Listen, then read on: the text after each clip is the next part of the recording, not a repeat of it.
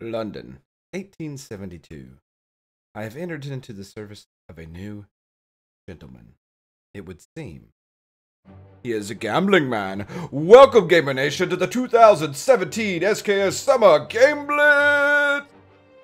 This is 80 Days. This is the first game on the docket. This is brought to you by Scarlet Ranger. In 80 days, we are going to try to make it around the globe. In 80 days, obviously. Because we have accepted a bet. But technology in this 1872 is totally different than that that we know of in our modern history present. Yes, that's what I'll say.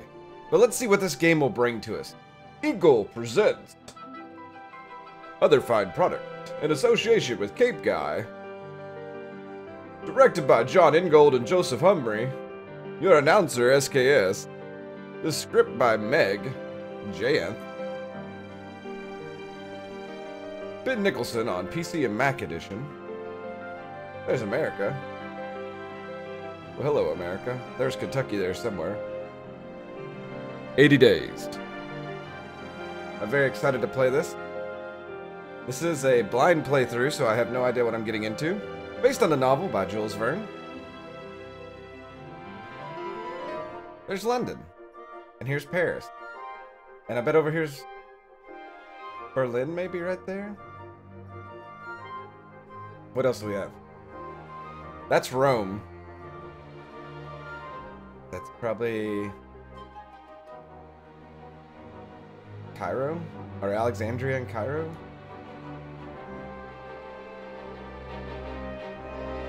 Either Tokyo or music's coming in pretty loud on my side. I hope it's okay for you all.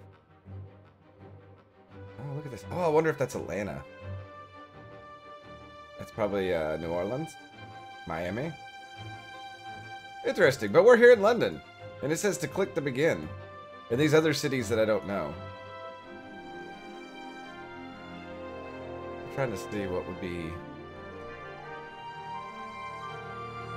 I'm not sure what that one would be. Alright, let's hit this. London. Oh, check out that background. This is amazing. This is really nice. The begin button. Monsieur Phileas Fogg returned home early from the Reform Club and is in, an, in a newfangled steam carriage. Aside. That is so sophisticated. Monsieur Phileas Fogg returned home early. It is italicized and bolded. In a newfangled steam carriage beside. I helped him down. And the iron lunge steam driven horses clattered away. Passepartout Passepartout, he said. We're going around the world. Around the world, monsieur? Very good, monsieur. Let's play around the world. Around the world, monsieur? I asked, utterly astonished. We shall circumnavigate the globe within 80 days. He was quite calm as he proposed this wild scheme. We leave for Paris on the 825 in an hour. But I've not prepared. You are a jest. This was a shocking turnabout. this, I would probably say that surely you jest. But I have not prepared, I said wretchedly, quickly trying to organize a list of necessary items in my mind. Then do it now. Pack an altimeter. Uh, in my evening jacket. There's not a moment to waste. Really, we're gonna go around the world in your evening jackets. What you think of? You pass apart. Now have funds. Your character is now steadfast.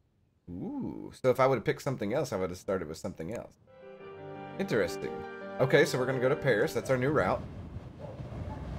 Collect our things and we'll be off. Oh wow, check out this time. Alright, so we have wool trousers. Part of the Englishman's wardrobe. A wool shirt.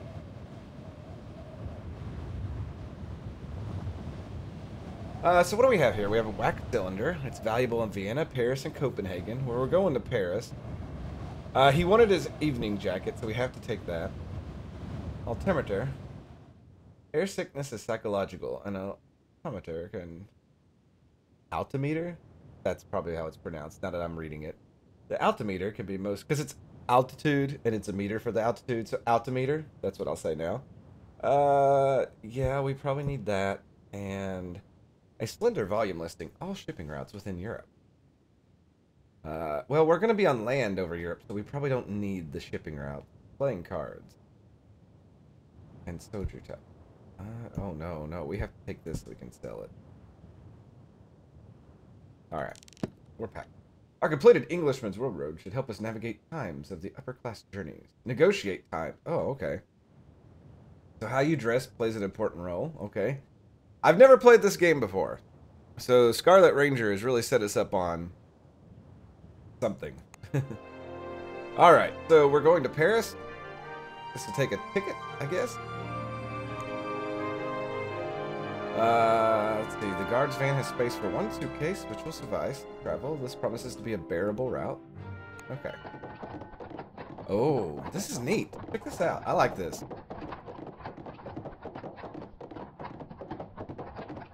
It's sad we couldn't go to Cambridge. The mechanical horses raced past Piccadilly Circus and Pall Mall. It's a brand of cigarettes. I don't smoke, but one of my professors in college talked about those all the time.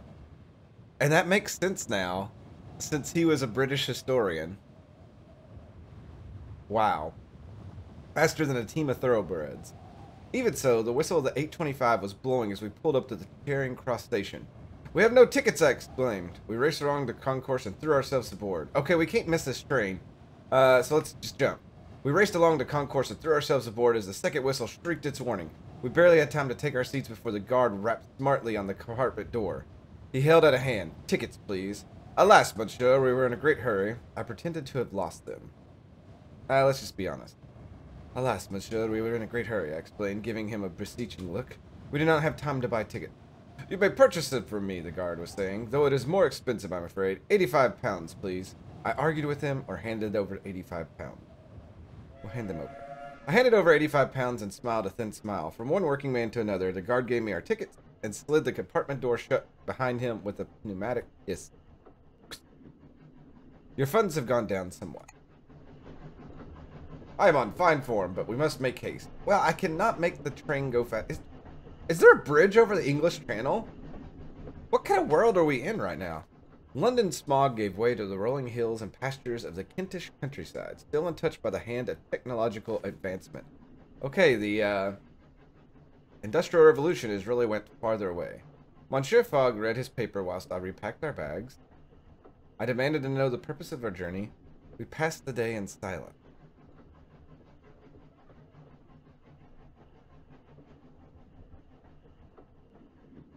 I can't really demand because I work for him. Let's just repack the bag. Monsieur Fogg read his paper whilst I repacked the bags, thrown together in hasting effusion. As afternoon turned inexorably into evening, I discovered that my master was one of those gentlemen who broke their silence rarely, if at all. A guard rapped on our door a few times miles before Dover. We're about to submerge, you warn. Take some bit, take some people a bit of funny, so watch out. What do you mean submerge? But it is safe, is it not? Very good. What do you mean submerge? I cried. This is the London to Paris Amphitrite Express, he explained, as though to a particularly dim-witted child. The submersible train, talk of all the London papers. Then this is the Mer train. I'm totally gonna say this. I exclaimed. He made a face. Bloody journalists and their silly names, he muttered. Every inch of her has been examined and stamped with an artificer's seal. This is the world's only bathyscape locomotive. I cannot help a shiver. I pressed my face to the window glass. Well, let's watch.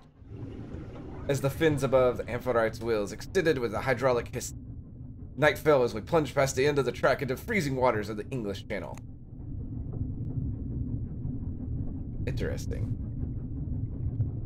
I still don't see how that would work, though. The Amphitrite. Amphitrite? There's a TR there. Plowed through the water overnight and splashed up onto the water-gouged French tracks at Calais at dawn broke. Do you have a route in mind, monsieur? I demanded to know the purpose. I began to consider what we might require for our journey. Yeah, let's ask him if he has a route. Do you have a route in mind, monsieur? I asked as the water of the channel dried from the compartment windows. I am as yet undecided, my master admitted. The new canal has sped up the shipping route from Suez to Bombay, though perhaps we could take the Trans-Siberian Railway across Russia. Surely not Bombay! Surely not Siberia! Surely not Siberia, I exclaimed. It is so cold and grim, and I have a particular fear of bears. Then why would we... Then we would do well to buy furs, he replies, refraining from rolling his eyes. There are other alternatives. We must travel overland across the Black and Caspian Sea. But which is fastest, but which is safest? Safest, not safest. Uh, we're wanting speed, fastest. I believe he said, that is what we shall put to the test. Pablo, I scarcely knew what to think. He doesn't know. We arrived at Paris Gare du Nord at just after 1 o'clock. Automaton porters lifted our luggage and then our persons onto the platform with long, delicately filigreed iron arm. Paris, city of my heart. I was home, but not to stay.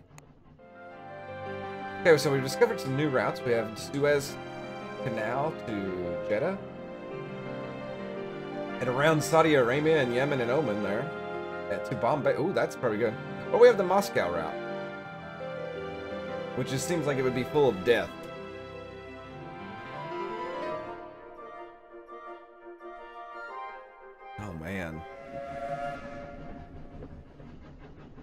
Decisions already. Several of our possessions will be quite valuable here.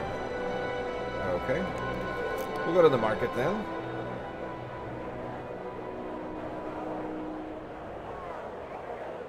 Ah, this does for that. Okay, we'll sell this.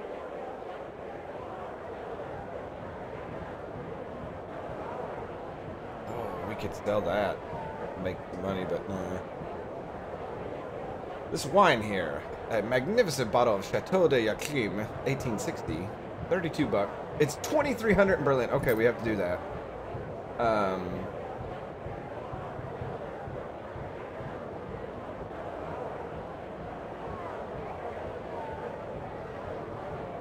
valuable in Copenhagen, or Copenhagen, Warsaw, and Budapest. I really want to buy that, but we'd have to buy another suitcase. Huh.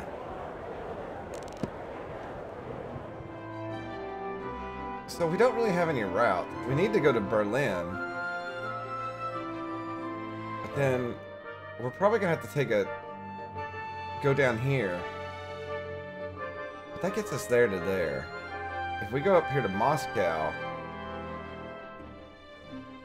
that puts us way out here. But I don't know how we can make the jump to Hawaii without going to Port Moresby.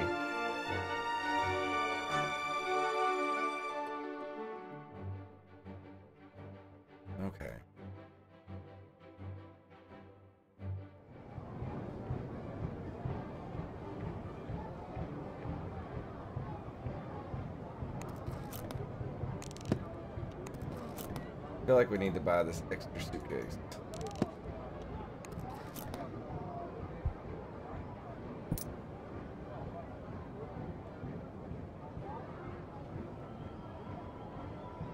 I want that traveling coat for now. And we'll sell that wine when we get there. Okay. We've lost some time. I'm an idiot. Because I... Can you not pause the uh, time?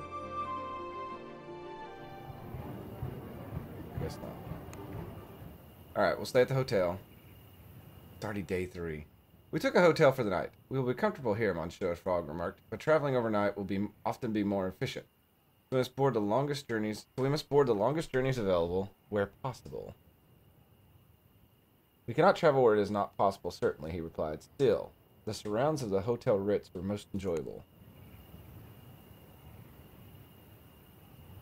Okay, let's explore.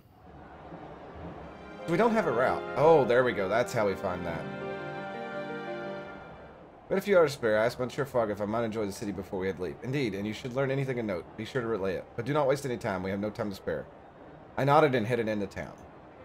The talk of the streets was one thing, an enormous, elegant oval stadium constructed upon the green fields of Pomp de, Pomp de Mars, and containing the technological marvels, art museums, amusement parks, and milling crowds of the World's Fair of 1872.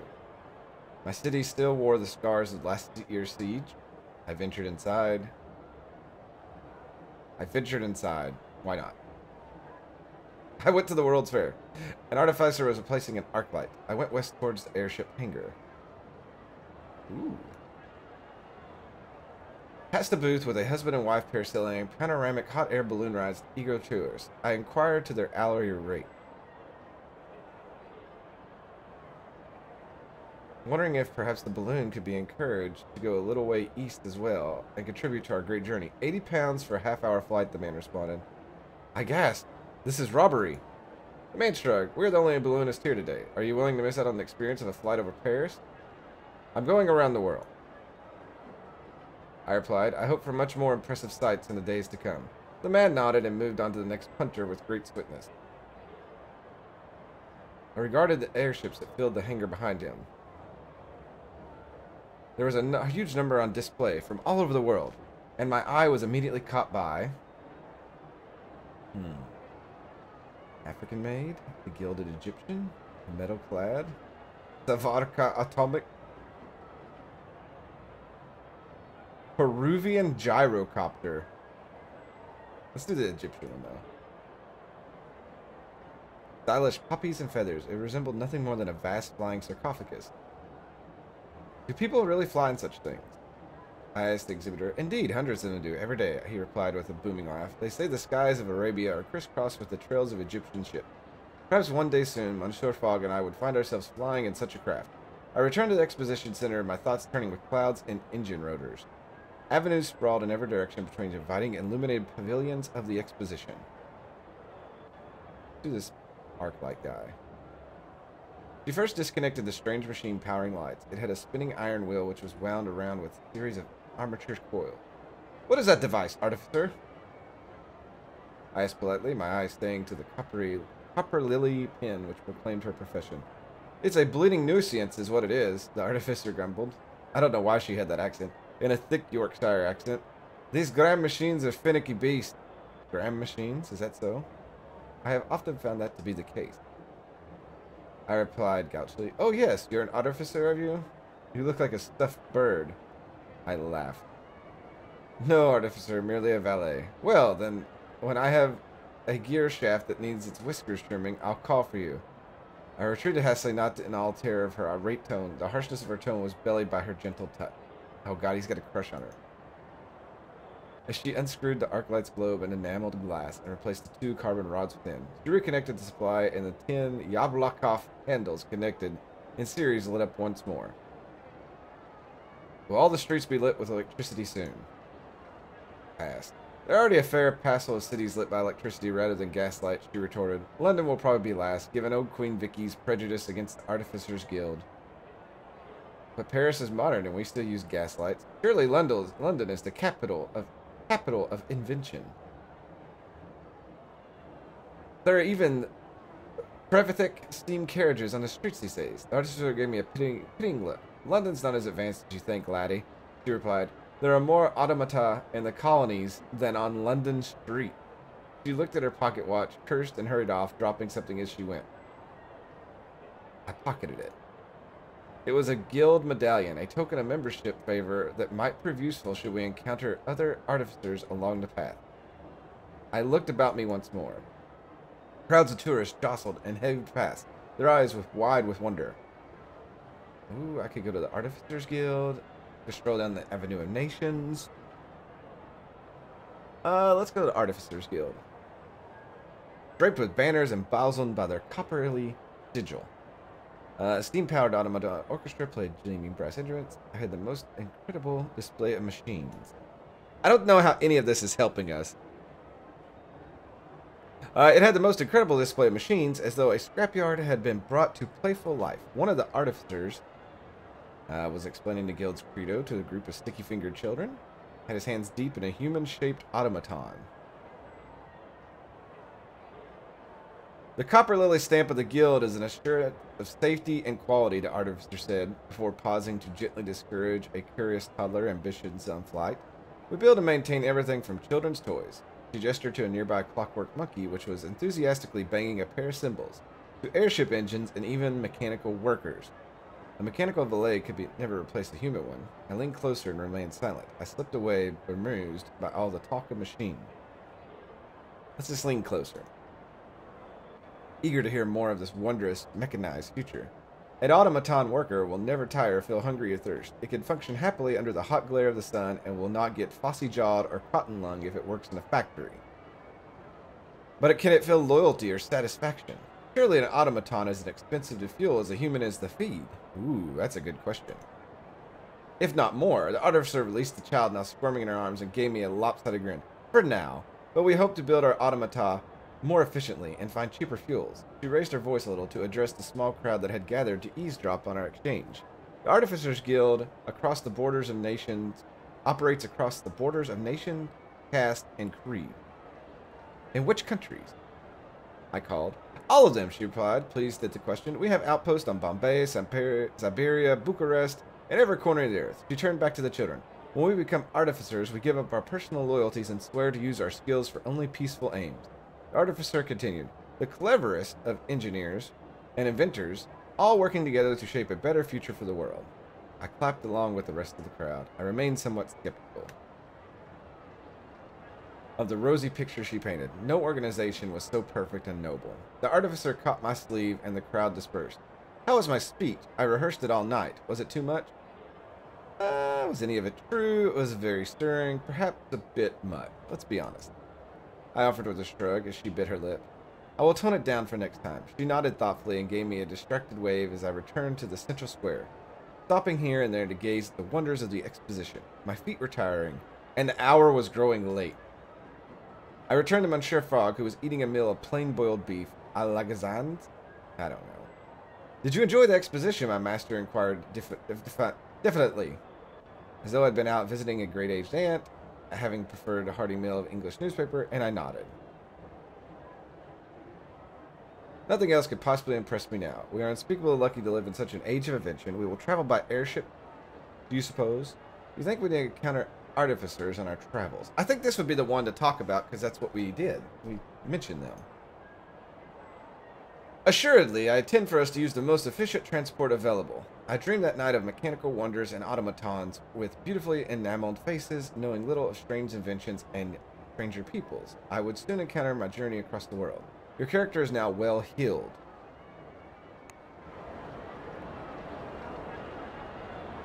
Alright.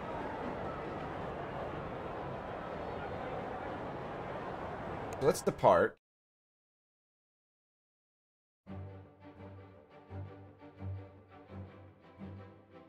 So we can go to Amsterdam today. And we need to go to Berlin. So yeah, let's do this.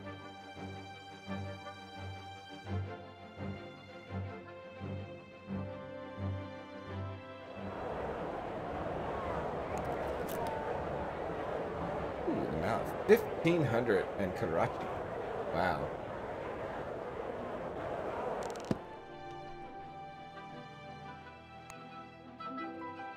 Minus 5 health.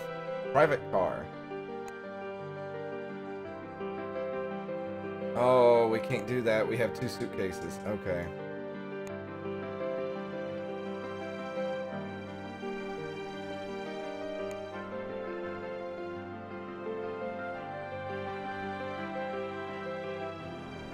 Now this kind of arrives Saturday.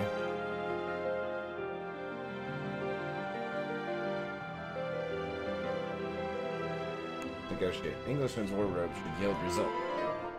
Most generous. No charge at 6 p.m. Alright. Okay, we'll hire some space for the luggage, and we'll go. Boom! That's how we take care of problems, everybody.